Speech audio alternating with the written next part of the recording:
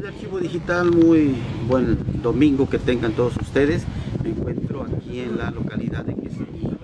Quesería es el ingenio para la actividad productiva, el movimiento económico que se gesta en toda esta zona que es eminentemente cañera.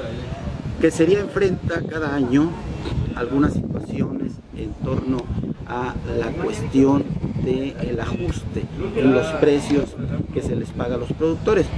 Este año no fue, no escapó a ello y se tiene ya de hace algunos días, podríamos decir casi dos semanas, eh, a nivel nacional una propuesta al grupo Beta San Miguel por parte de los cañeros que son productores ejidatarios en su mayoría. Bueno, pues ellos están exigiéndole al grupo Beta San Miguel que se haga un ajuste porque la producción de este año fue excelente, muy buena. Y pues aquí en qué sería, puede decirse lo, lo, contrario, y por tanto están pidiendo un ajuste.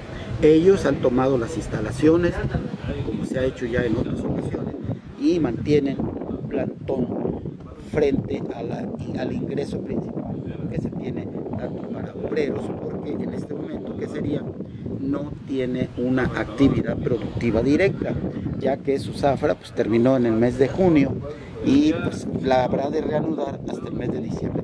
Pero vamos a platicar con están en este plantón eh, haciendo guardia, porque eso es lo que se hace para estar en la espera que a nivel México se tenga en, en en solución a sus demandas que está planteando la organización nacional. Yo me encuentro con ellos, les agradezco que me den la oportunidad de estar aquí acercándome a ustedes y le pregunto, no me dijo su nombre. José Héctor García. A José Héctor García. Don Héctor, pues esto ya tiene días. Eh, su dirigente, Ulibardo, Ulibardo, me estaba comentando en días pasados que el tema de los cañeros pues va en buen avance a nivel nacional, los dirigentes han estado buscando. La pregunta aquí es, ¿qué está haciéndose en este plantón que al igual que en otros países, estados cañeros, se está llevando a cabo? En este caso, ¿qué es lo que está haciéndose? No se permite entrar a los obreros, no se permite vender. ¿Qué están haciendo en este momento? Ahorita está toda parada toda la actividad que se desarrolla ordinariamente en el ingenio, todo se paró ya.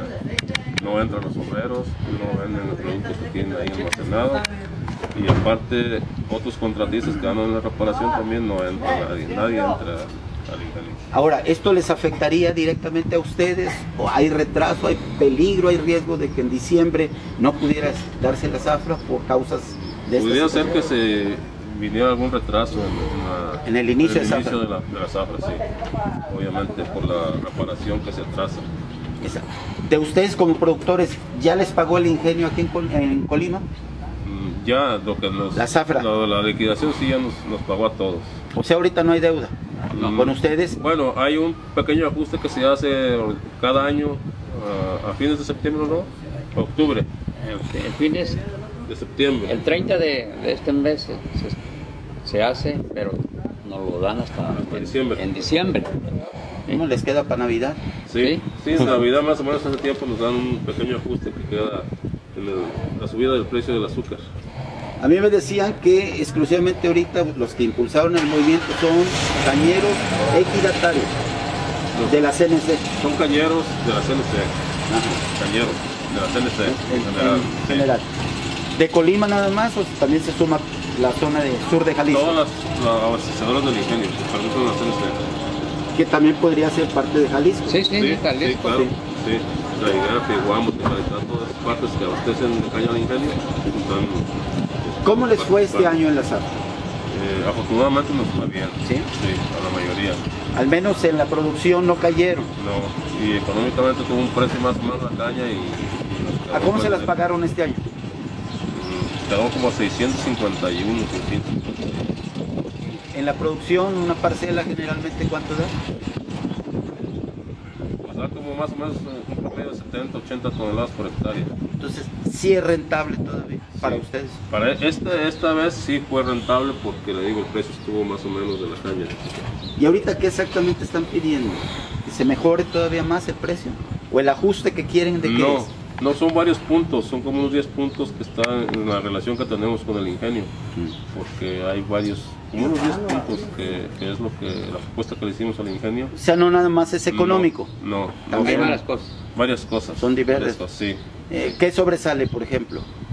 ¿Pensión para sus hijos? ¿Becas para sus hijos? No, no, no. eh, principalmente el manejo de la záfara, que la hagan los cañeros, porque el ingenio quiere, pues, manejar todo. Como que eh, ya tiene tiempo haciéndolo así, entonces los cañeros queremos que también nosotros participemos y opinemos y nada, no nada más el ingenio. Claro. sí. Este año, ¿qué producción se logró? ¿Tiene idea? Entre todos, ¿cuánto le metieron al Un ingenio? millón cuatrocientos veintitrés, veinticuatro. Un millón 424. toneladas Sí. de caña. Eso traducido en, en dulce, en azúcar, Ay, el azúcar no. ya quiliado, No. No, no sabemos, no tenemos los Ese dato. datos de... de cuánto se produce Sí. en eficiencia Sí. el ingenio. Sí. ¿Tenemos ingenio para rato todavía o, o ya anda cascareando? Nosotros suponemos que sí hay porque eh, los empresarios han estado invirtiendo buena cantidad de dinero en mejorar, En mejorar. la fábrica. Pues ojalá que sí. Sí, ¿verdad? y es una inversión fuerte y yo pienso que creemos y confiamos en que Hay tenemos- ingenio. sí. Tenemos genio Sí. para varios años. Lo que sigue lo- la próxima semana, ¿van a seguir aquí? Mientras no nos avisen que ya se resolvió o nos dieron eh, una respuesta favorable a las peticiones que hacemos, Aquí van a estar. aquí vamos a estar, sí. Bueno, le agradezco mucho. ¿eh? Gracias amigos. ¿eh? Con nuestros amigos cañeros aquí en Quesería, donde, pues repito, está este plantón en espera de la respuesta que a nivel central, allá en la Ciudad de México, pues logren los dirigentes nacionales con los empresarios, principalmente el grupo Beta San Miguel, y estaremos muy al pendiente de ello. Nosotros regresamos.